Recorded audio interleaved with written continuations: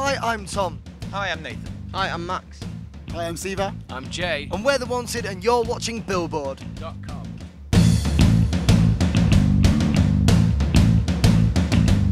What's up? It's Andrew with Billboard. We're backstage at iHeartRadio in Vegas with The Wanted. Hello.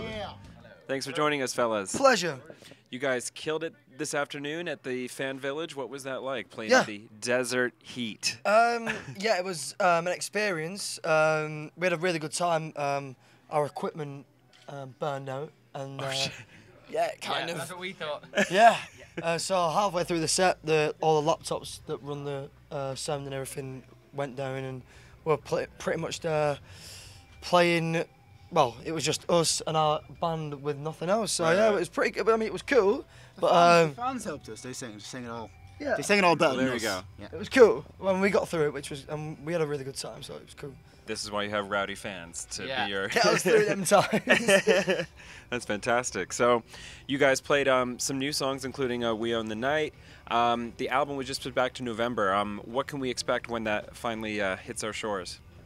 Uh, I th- well, I think it's uh, some of it will be what I guess people expect, which is party songs and club sort of mixes, and then there are some that I think are more reflective of, you know, a, a year, two years of some struggle, and so you don't want uh, hands in the air on a struggle song. You want an orchestra, and you want uh, to emote a little. So I think that hopefully there's a mix of both. You know, that's sort of the more introspective stuff, and then the more carefree stuff. So we'll see.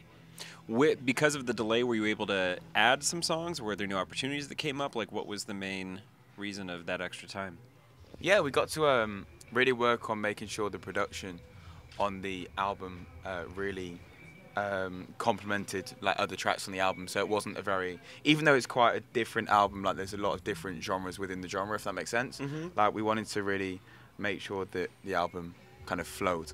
So it wasn't like oh, random bits of orchestral bits, random dubstep. yeah. Uh, so we really feel it like it flows now, and we're very proud of it. Excellent. Any collaborators you can confirm? Um, I mean, there was there was gonna be. Mm-hmm. Um, I think it started out with like writing collaborations with Rita, Rita Ora and, and Justin, um, and the Justin track we kind of it was it was gonna be on there, and then um, I think on on further thought it, it didn't quite sit within the album, but um, I mean maybe for the next album because Mm-hmm. uh, it was a bit I think it was a bit maybe R and B for for the album, but I mean it, the song's great and um, so yeah I think for this album it's just I mean, it's just the wanted. So uh, maybe maybe for the next album there's, there's a few there. So, if that track was too R&B, how do you describe the wanted sound? It's kind of like a global pop sound. Yeah. I mean, it's, I think um, it's quite anthemic. I think at, at times, like Jay said before, it's um, there's, there's quite a lot of dance stuff on there, and um, but I think with this album, it's it's got it's got a bit more um, a bit more bandy. So like guitars and orchestras and and like like more live like instruments, which I think is it's kind of a cool thing. Uh, we always like to we always like to create like a, a sing along sound as well. yeah. You know, like glad you came, sort of like a nursery rhyme. Right, oh, you know, completely. um, we, we like to do that a little bit as well. Like uh, I f- I feel like we own the night. We have that as well, where you can everyone you hear it once and then you can sing along. That's what we like to do. Um, but whether we've whether we've done it or not, we've, we've got to wait and see. Execution, maybe Yeah. not. I'd say today's a good preview, though. You're, you're heading in the right direction. yeah, hopefully. Excellent. So, you guys also just finished your reality show with E. What what was that experience like? And obviously, you're still in front of cameras, so. Oh yeah, the, the experience it was an experience. yeah.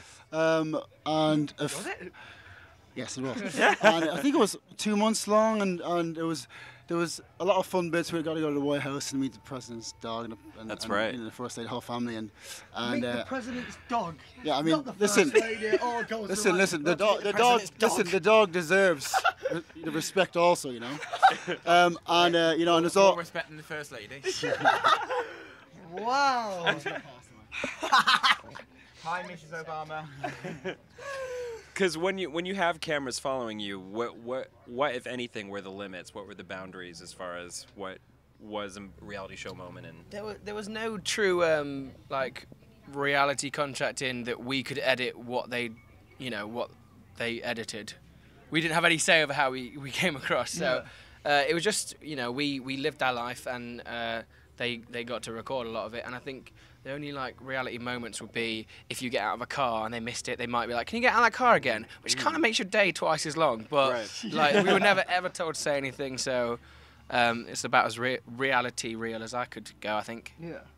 That's admirable. Excellent.